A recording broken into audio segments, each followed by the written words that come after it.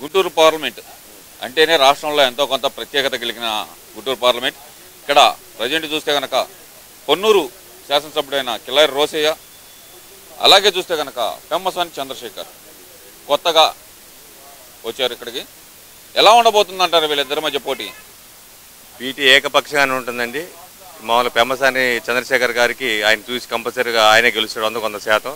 ఆయన మంచి డబ్బుల కోసం ఆశించేది రాజకీయాల్లోకి రాలేదు.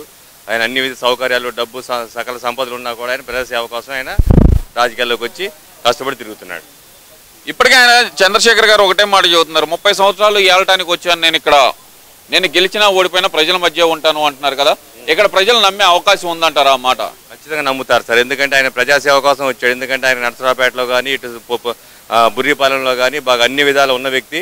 ఆయన కేవలం సేవ చేయడం కోసం వచ్చాడు. ముప్పై కాదు ముప్పై ఐదు ఏళ్ళు ఉండి కరెక్ట్ ప్రజల మాటిని చేస్తా సేవ చేస్తాడు. మరి ఇక్కడ కిలారి రోసే వచ్చేందుకు ఒకటే మాట చెబుతున్నారు. నేను పక్కా లోకల్ అంటున్నాడు కదా మరి. ఈ కిలారి రోసే ఏం చేశాడు అంటారు ఇక్కడ? ఏం పని చేయలేదు. ఏం చేశారు మీరు? ఈ ఐదేళ్ళు ఏం చేశారు? ఐదేళ్ళు పొన్నూరు ఎమ్మెల్యే నువ్వు ఏం చేస్తే జనానికి ఉపయోగపడలేదుగా? ఏం చేయకుండా నువ్వు ఎక్కడ ఎక్కడ గెలుస్తావు ఇక్కడ? నీకు ఎవరు వేస్తారు ఓట్లు? ప్రజలకు ఏ న్యాయం చేశారు మీరు? పొన్నూరుని అభివృద్ధి పదంలో తీసుకెళ్ళాను అలాగే నేను గుంటూరుని కూడా అభివృద్ధి పదంలోకి తీసుకెళ్తాను అంటున్నాడు మరి కిలారి రోసే సార్ ఆయన ఎక్కడ పొన్నూరులో ఎక్కడే డెవలప్ చేయాల. అందుకని అక్కడ కాదని ఇక్కడ ఎంపీకి వచ్చాడు. అంతే. ఇక్కడ గెలవడం సాధ్యపడదు. నూటి నూరు శాతం పెమ్మసాన్ని ఖచ్చితంగా గెలుస్తారు. దాంట్లో సమస్య లేదు. ఎంత మెజార్టీతో గెలిచే అవకాశం ఉందంటారు? రెండు లక్షల పైన. రెండు లక్షల పైన పెమ్మసాన్ని గెలుస్తారు. రెండు లక్షల పైన?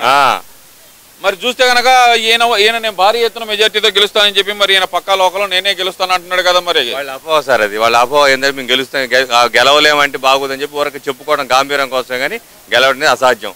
రెండు లక్షల పైచిలుకుతో ఖచ్చితంగా పెమ్మసాని చంద్రశేఖర్ గెలుస్తారు. ఇక్కడ వైసీపీ ఓడిపోవడానికి గల పలా ప్రధాన కారణం ఏమనుకోవచ్చు అంటారు అంటే వాళ్ళు చేసిన పనులు సార్ ఎందుకంటే మట్టి తవ్వకాలు ఇసుక తవ్వకాలు అన్ని ప్రజలను చాలా బీదలను అందరిని ఇబ్బంది పెట్టారు వాళ్ళు.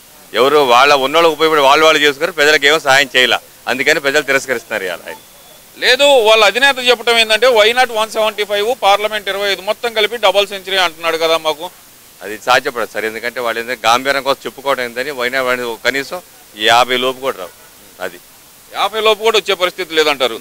మరి ఇక్కడ పొన్ను ఇక్కడ గుంటూరు చూస్తేనేమో టఫ్ ఫైట్ జరగబోతుంది అంటూ ఒక పక్కన నడుస్తుంది కదా. టఫ్ ఫైట్ అంటారా ఏకపక్షమే అంటారా? ఏకపక్షం సార్ దాదాపు పదిహేడు పదిహేడు కొడతాం. పక్క దాంట్లో సమస్య లేదు. ఉమ్మడి గుంటూరు గుంటూరు జిల్లా పదిహేడుకు పదిహేడు. అది. పదిహేడు పదిహేడు మూడు ఎంపీలు? మూడు ఎంపీలు. ఆ, అది. కప్ప ఖచ్చితంగా బాపట్ల కానీ నరసరాపేట కానీ గుంటూరు మూడు ఎంపీలు వస్తాయి. అది. ఇందులో ఏం తిరుగులేదంటారు? సమస్య లేదు ఇక. మరి ఏ విధంగా మరి వాళ్ళు మరి why not one seventy five నాడు? ఎందుకు వాడుతున్నాడు అనుకోవాలంటారు? వాళ్ళు ఏంటంటే ఒక గాంభీర్యం కోసం మీ ఏదో రాము క్యాన్సర్ అనుకుంటే బాగుంది ఒక చెప్పుకుంటే అంతే పక్కాగా టీడీపీ వస్తుంది. దాని సమస్య లేదు. రాష్ట్రం మొత్తం మీద. అయితే పెన్ పెమసాన్ని గెలుపుని ఆపడం ఎవరి వల్ల కాదంట సాధ్యపడదు. ఎందుకంటే అతను నిస్వార్థ పరుడు డబ్బుల కోసం రాలేదు ప్రజాసేవకు వచ్చాడు కాబట్టి అతను నమ్మారు ప్రజలు పూర్తిగా అతనికి ఓట్లేస్తారు. సమస్య లేదు. గుంటూరు పార్లమెంట్లో హేమాహేమీలు పోటీ పడుతున్నారు. అందులో ముఖ్యంగా చూసుకోవాలంటే కనుక పెమ్మసాని చంద్రశేఖర్ గారు ఒకవైపు మరో పక్కన కిలారి రోసే గారు. వీళ్ళిద్దరిలో ఎవరు గెలిచే ఒక అవకాశం ఉందంటారు? బ్రహ్మసాని సార్ గారు గెలుస్తారని నాకు ఖచ్చితంగా నమ్మకం ఉంది. కానీ వచ్చేది మాత్రం ఎంపీ సార్ గారి బ్రహ్మసాని సారే వస్తారు. టీడీపీయే వచ్చిద్ది. ఎందువల్ల అంటారు? ఇక్కడ వైసీపీకి ఎందుకని ఎదురుగాలి తగులుతుందంటారు? వైసీపీ అంటే చాలా మాటలు చెప్పారు కానీ ఆ మాటలన్నీ వాళ్ళు చేయలేకపోయారు మన బ్రహ్మనా బ్రహ్మసాని సార్ మాత్రం కంపల్సరీ చేస్తారు? చేస్తారు చేస్తారు కూడా. అంటే ఇక్కడ ముఖ్యంగా మీరు ఏం చేస్తూ ఉంటారు అసలు? నాది మ్యారేజ్ బ్యూరో పనిచేస్తూ ఉంటాం. కానీ మనకు టీడీపీ అంటే బాగా సపోర్ట్ చేస్తూ ఉంటాం మనం. ఇక్కడ ఇంకో విషయం తీసుకుంటే కనుక పెమ్మస్వామి గారు లోకల్ కాదు ఆయన లోకల్ వ్యక్తి కాదు కాబట్టి ఆయనకు ఓటు చేయ పోటీ చేయడానికి ఆయనకు అర్హుడు కాదు అన్నట్టు మరి ప్రతిపక్షం వాళ్ళు అంటున్నారు కదా. కానీ వాళ్ళు బయట నుంచి వచ్చినా కానీ వాళ్ళు పనులు మాత్రం ఏదైనా చేసి పెడతారని చెప్పారు. చేసి పెడతారు కూడా. కానీ టీడీపీయే వచ్చింది ఇక్కడ.